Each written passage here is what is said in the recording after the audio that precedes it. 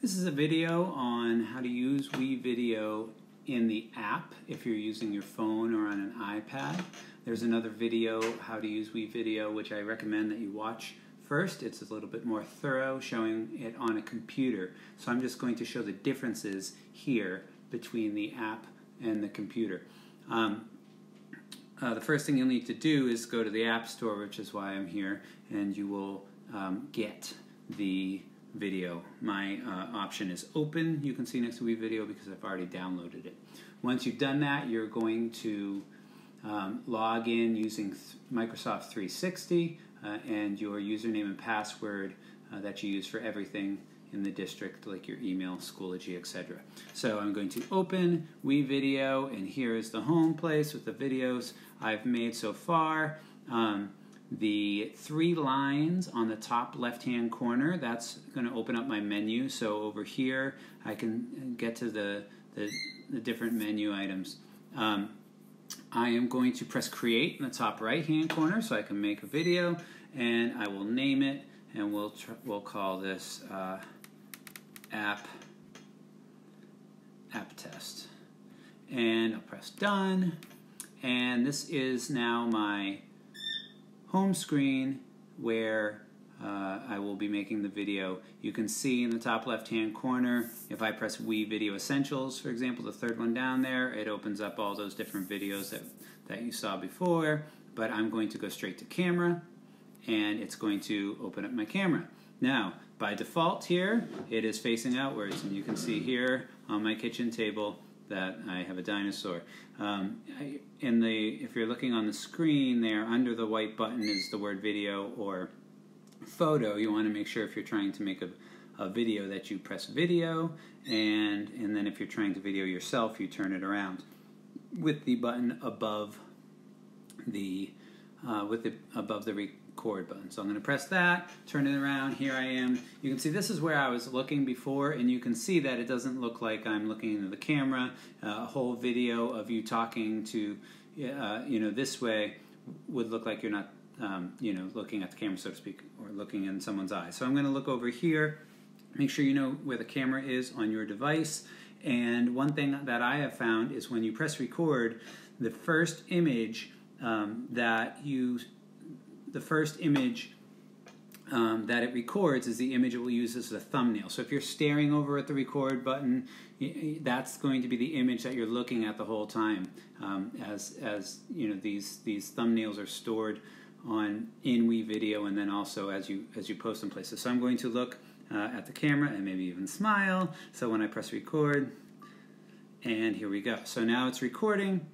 I'm talking. I'm looking at the camera, and I'm going to press stop and that's my video. And again, you can see at least that some sort of attempt at a smile. Uh, good thing down in the left hand corner is that retake button that you can always do things over. I'm going to use this video over on the right, um, and I could have played it to, to see what it looked like before I made that decision.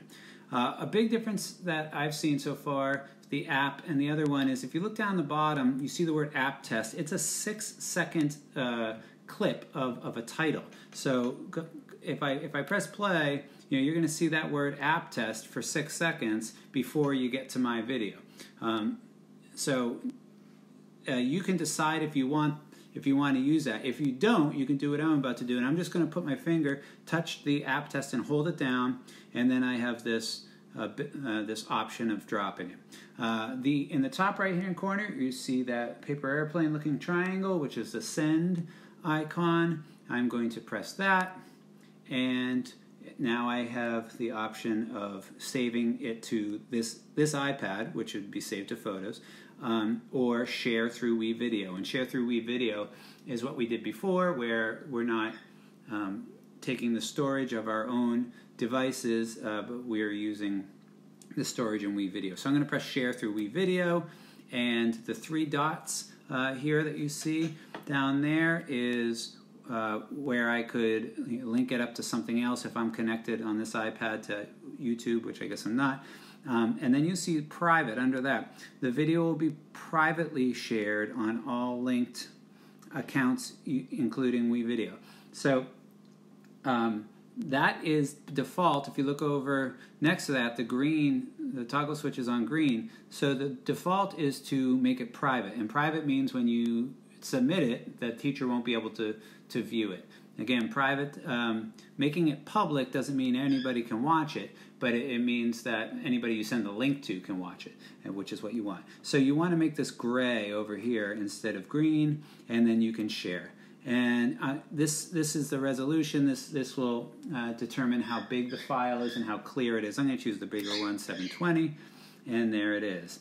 Couple uh, unflattering pictures of me down there when I didn't know where to look. Um, you see in the top right hand corner of the app test video um, that it is taking some time um, to edit and and um, reduce uh, the file. That so that's that's what's happening right now is it's it's creating a smaller file that I'll be able to use and converting it. Once that's done, we're going to grab the link from it and copy it, and then we'll be able to go to the Schoology app and put it in your assignment.